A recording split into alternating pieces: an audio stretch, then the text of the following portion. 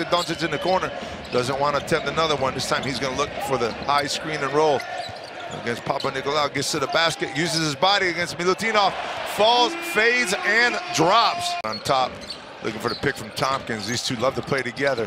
Back to the corner. The Doncic sitting in that corner a lot. Another fade away from Doncic, and this time, instead of going straight down, from here on out, on every foul, Felipe Reyes it's the ball out of bounds.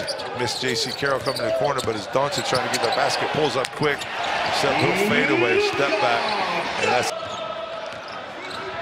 Doncic with the handoff to Causeur. Causeur's going to want to get around right over to Doncic. Doncic with another stop, pop, pull up, two-point hard two.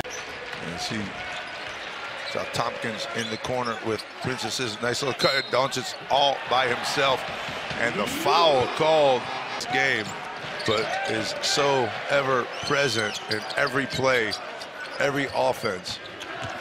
Taylor trying to get the basket out to Doncic. Doncic thinks about the three, then he steps back. Nice defense by Papanikolaou, but it just doesn't matter.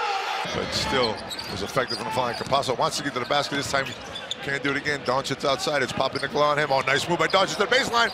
Oh, what a move by Luka pointer, and Doncic is wide open. No one can get back on. Nice little fake by Doncic, and he goes up, and we have